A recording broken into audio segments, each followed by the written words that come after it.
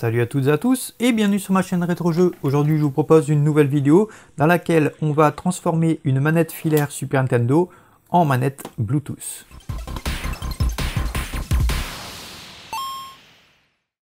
Tout d'abord je voulais remercier Belchine.net de m'avoir envoyé les deux produits qui nous permettront donc de transformer une manette Super Nintendo en manette sans fil. Donc tout en gardant bien entendu l'aspect de la manette et la jouabilité. J'ai choisi pour cette vidéo une manette qui fonctionnait plus très bien. On entend qu'il y a des petits trucs qui bougent à l'intérieur. Je pense que c'est vraiment une manette qui a servi très longtemps. On peut voir ici qu'elle a même été croquée par un chien. Je vais vous expliquer comment fonctionne le kit Bluetooth pour manette Super Nintendo. On démonte tout simplement la manette. Donc on a juste à retirer les vis à l'intérieur. On enlève le PCB original, donc la carte mère, et on le remplace par celle de 8 bits d'eau. On va regarder à quoi ressemble le PCB 8 bits d'eau. Donc on ouvre. Ici on a un petit câble USB qui je pense nous servira à recharger notre manette Super Nintendo en USB. On a ici un petit tournevis qui nous permettra de démonter la manette. C'est un tournevis euh, cruciforme standard. Et ici on a le nouveau PCB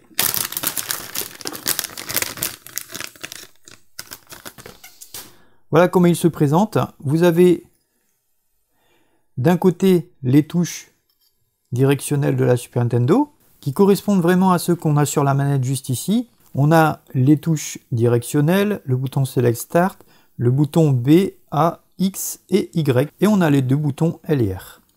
Ici, on a la petite prise de recharge. Je me posais la question justement de savoir comment aller recharger la manette. Et eh bien aussi, on aura juste à placer ce petit adaptateur à la place de la sortie du fil, qui est ici, pour pouvoir charger la manette. On peut aussi la recharger ici apparemment en USB, mais étant donné qu'elle sera dans la manette Super Nintendo, on n'aura plus accès ensuite à ce port juste ici. On peut voir ici qu'on a une batterie de 180 mAh en 3,7 volts. Et ici sur la notice, il est précisé que la batterie dure environ 10 heures de jeu, donc c'est amplement suffisant rechargeable par USB en 30 minutes. On va commencer par démonter la manette. Pour cela, on va démonter les 5 vis cruciformes qui se trouvent à l'arrière. Donc ça, c'est plutôt pas mal qu'ils fournissent le tournevis avec. Apparemment ici, j'ai une vis qui tourne dans le vent. Donc on doit avoir quelques cases dans cette manette. Bah, ça tombe bien, je pourrais la remettre à neuf grâce à cette carte mère 8 bits d'eau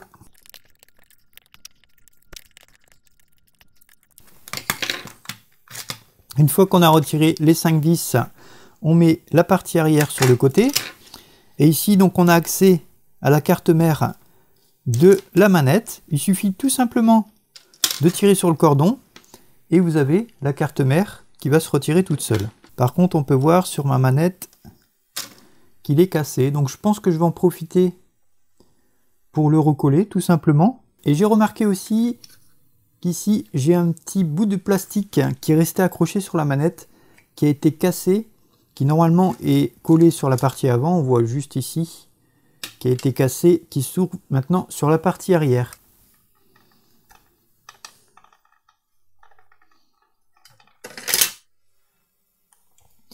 Voilà le fameux objet en plastique qui était cassé. Je vais en profiter pour le recoller aussi. Pour cela, je prends de la glu. Je vais en mettre un petit peu sur la manette ici. Je viens le recoller juste ici. Pendant le temps que ça colle, je le maintiens. Je retire la membrane ici qu'on viendra nettoyer au vinaigre blanc. Et on a la membrane qui était restée collée sur la carte mère qu'on va nettoyer aussi à l'aide du vinaigre blanc. Voilà, donc je pense qu'il est collé en partie. Je vais maintenant profiter pour recoller aussi le bouton R qui a été cassé. Donc il était juste comme ça. Pareil, je mets un point de colle et je recolle le plastique qui est cassé.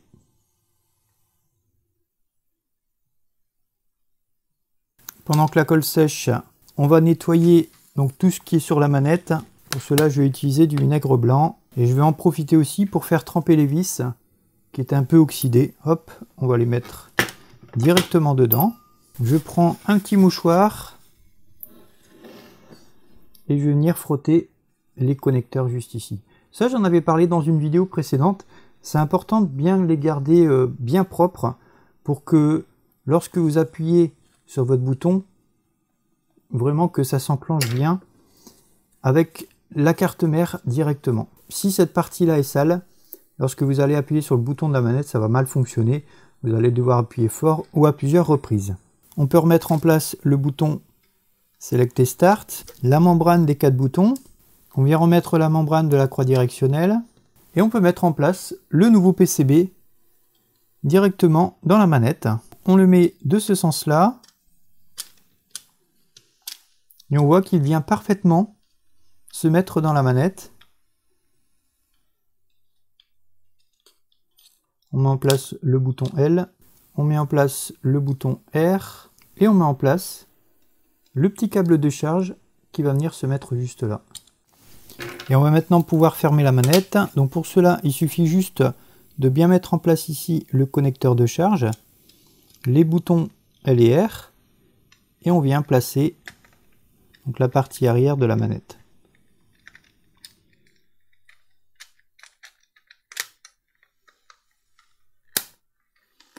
Voilà. Il ne nous reste plus qu'à mettre les 5 vis à l'arrière.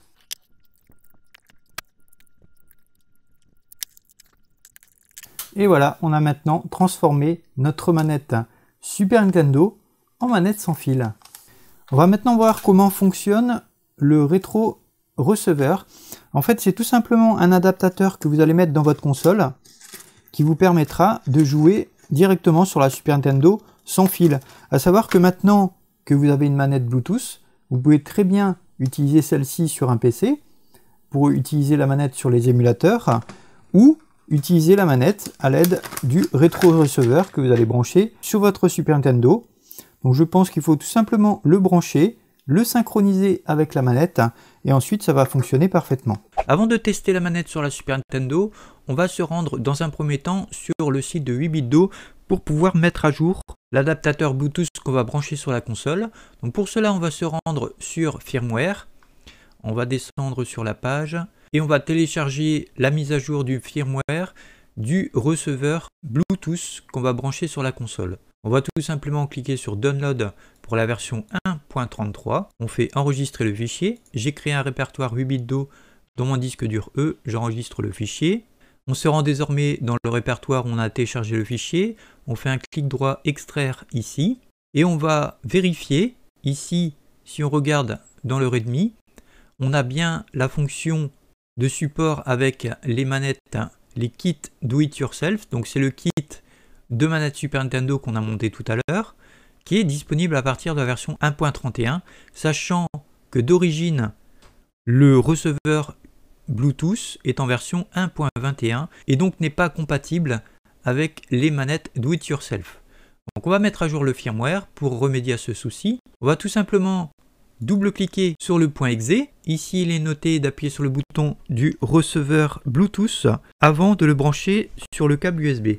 On va donc appuyer sur le bouton et ensuite on branche le câble USB.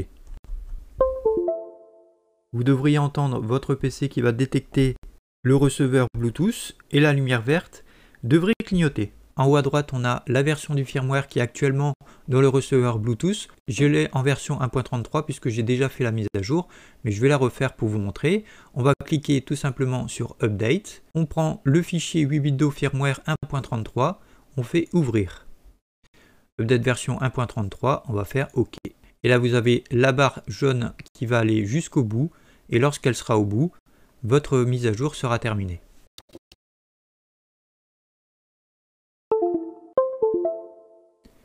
Le firmware a été mis à jour, on peut cliquer sur OK et on peut débrancher le câble USB du receveur Bluetooth. On peut désormais tester la manette avec le receveur Bluetooth. C'est tout simple, on a juste à brancher le récepteur dans la console. On allume la console. Ici, on a la petite lumière bleue qui clignote on va appuyer sur le bouton. On a la lumière bleue qui clignote très très vite. Sur la manette, on va appuyer sur B et Start en même temps. Elle se met à clignoter. On maintient le bouton Select. Elle clignote assez rapidement et elle va synchroniser automatiquement avec le récepteur Bluetooth.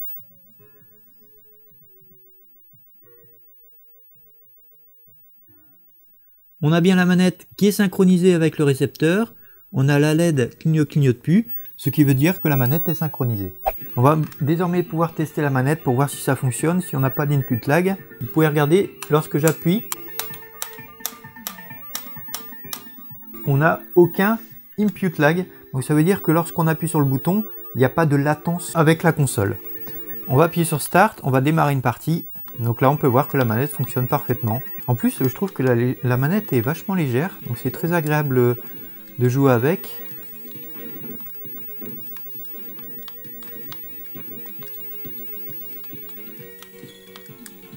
Et donc l'avantage, c'est qu'on va pouvoir jouer à la Super Nintendo sans fil.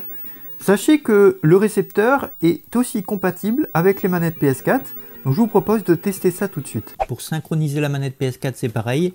On allume la console dans un premier temps. On va appuyer sur le petit bouton de synchronisation. On maintient le bouton Share et le bouton PS en même temps. On a la manette qui va s'allumer, qui va clignoter. Et elle synchronise directement avec le receveur Bluetooth. Et on peut désormais jouer avec une manette PS4 sur une Super Nintendo. Je vous remercie d'avoir suivi cette vidéo. Si vous avez apprécié, n'hésitez pas à mettre des pouces vers le haut. Si vous avez des questions concernant l'adaptateur Bluetooth ou le kit de modification de manette Super Nintendo, n'hésitez pas à en faire part dans les commentaires. Et je vous dis donc à très bientôt sur ma chaîne Rétro Jeux. Ciao ciao